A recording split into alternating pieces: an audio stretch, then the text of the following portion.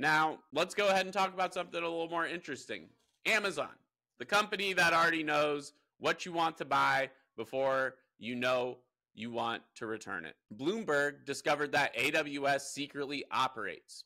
There's 900 data centers. 900. But you're probably like, why are there so many? Well, because training AI models requires enough electricity to power a small dictatorship.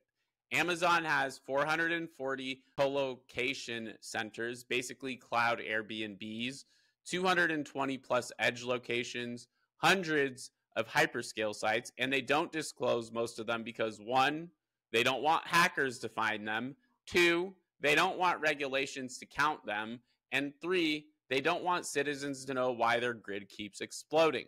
Environmental groups say that data centers are straining the electric grid. Amazon said it's not just us, it's everyone else who also uses electricity, which is the corporate version of everyone was speeding, officer. Why'd you pull me over? Amazon is also quietly renting space from 180 different companies.